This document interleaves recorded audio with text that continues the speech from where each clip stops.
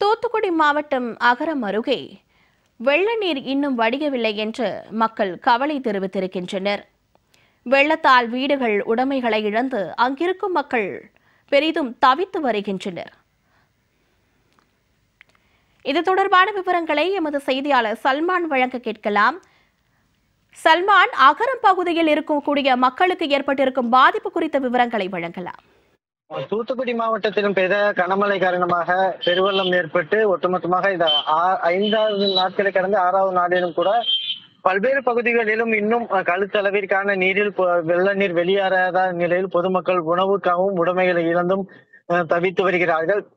ஐந்து நாட்களாக அரசு அதிகாரிகள் மற்றும் ஆளும் கட்சியினரும் சரி அமைச்சர்கள் சட்டமன்ற உறுப்பினர்கள் யாரும் செல்லாமல் குழந்தைகள் முதல் முதியவர்கள் என குடிநீர் கூட இல்லாமல் மிகுந்த ஒரு பசியோடு காத்திருக்கிறார்கள். குறிப்பாக அகரம் பகுதி என்பது மிக கடுமையாக பாதிக்கப்பட்ட பகுதியாக இருக்கிறது.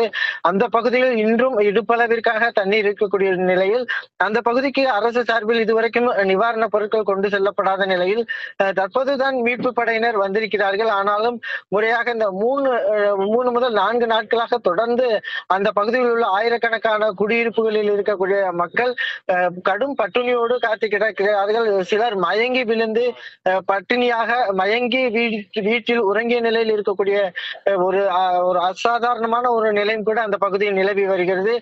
இதுவரைக்குமாக அந்த பகுதி மக்கள் க- கழுத்தளவு நீரில் நீந்து வந்து சாலைகளில் செல்லக்கூடிய நிவாரணப் பொருட்களை வாங்கி கொண்டு அங்கு இருக்கக்கூடிய சில நபர்களுக்கு வழங்க முடிகிறது. ஆனாலும் அஹ், அரசு நினைத்தால் மட்டும்தான் படகுகள் மூலமாக நிவாரணப் பொருட்களையும் உணவுகளையும் வழங்க வேண்டும் என அவர்கள் கோரிக்கை விடுத்திருக்கிறார்கள். ஒட்டுமொத்தமாக அகரம் பகுதி என்பது மிக கடுமையாக ஆறாவது நாளாகவும் பாதிக்கப்பட்டு உணவு இல்லாமல் தவித்து வரக்கூடிய மக்களாக அந்த பகுதி மக்கள் இருந்து வருகிறார்கள் ஷர்மிளா.